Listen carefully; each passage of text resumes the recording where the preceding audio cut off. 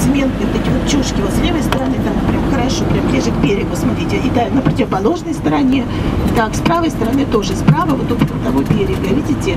Вот это специальная морская ферма, там выращивают мидий и устриц. А здесь они особые получаются, особый сорт, потому что э, вода здесь смешанная получается. Она и пресная, и соленая, потому что вот там с левой стороны уже река Гырка впадает э, в море, и вот это особый совершенно сорт э, дорогой получается. Выращивают здесь вот эти вот